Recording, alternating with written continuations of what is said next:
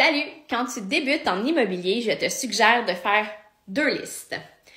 Ta première liste, c'est ce qui est, dans le fond, nécessaire, quasi vital pour toi. OK? Euh, dans cette liste-là, on parle de, justement, la localisation euh, que tu cherches à avoir. OK? Euh, autant ville, quartier, peu importe. Et euh, dans le fond, les caractéristiques de ta maison. Est-ce que tu veux une maison avec une, deux, trois, quatre, cinq, six chambres? Est-ce que tu veux une maison avec garage ou pas de garage? Alors ça, c'est des choses que tu peux regarder. C'est ta liste essentielle.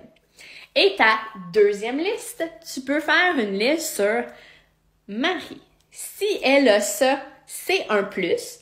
Mais si je ne l'ai pas, ce n'est pas si grave que ça non plus. Parce que ça, ça peut nous laisser euh, de larges éventails également à chercher une propriété. Et avec ça, je m'en vais à quelque part d'autre pour te dire, ouvrez vos horizons.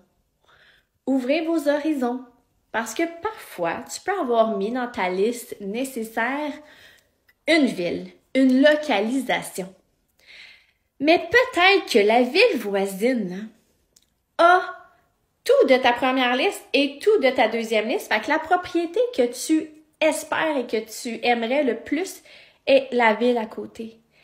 Alors, élargissez vos horizons, essayez d'aller voir plus grand et puis allez vous promener dans cette ville voisine-là.